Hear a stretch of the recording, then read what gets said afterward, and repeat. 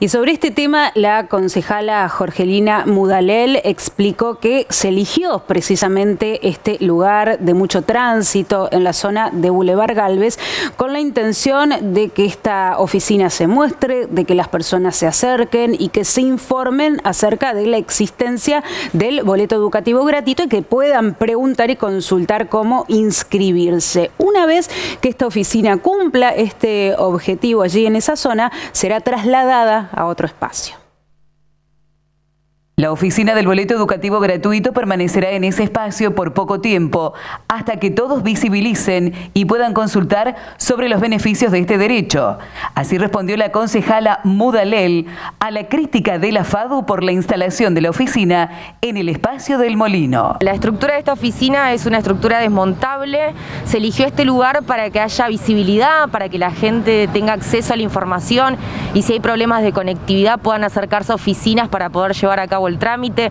En ese sentido, mi respuesta es que no me parece una defecio la oficina, me parece una defecio que haya chicos y chicas que no puedan acudir a los establecimientos educativos porque no tienen plata para pagar el, pasaje.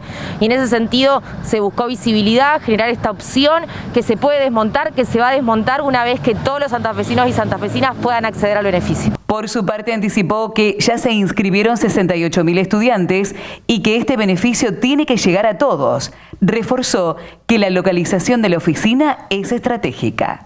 Al día de hoy, en este momento, me han comunicado que ya hay 68.000 inscriptos, un gran número.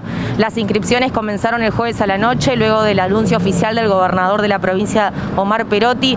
En ese sentido, estamos muy contentos. Esto es un beneficio, la conquista de un derecho, que hay una larga lucha que lo antecede y que hoy estamos celebrando que por fin existe esta posibilidad y la verdad que estamos muy emocionados. Pueden ingresar a www .santafe.gov.ar barra boleto educativo y ahí están todos los pasos para completar y para poder iniciar con este beneficio y cuando comience el ciclo lectivo tener el boleto educativo gratuito. ¿Cómo ha sido la repercusión entre los estudiantes?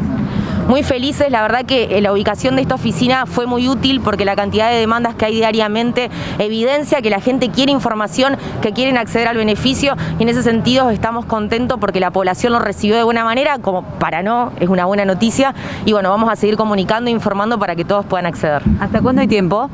No hay límite por ahora, queremos que la mayor cantidad posible se anote, se está estimado que este beneficio va a llegar a 500.000 personas en la provincia, alrededor de 133.000 en Santa Fe y bueno, queremos que todos lleguen, no hay límite, anótense por la página y si no pueden ingresar y acercarse a las, a las oficinas que están para solucionar las distintas problemáticas.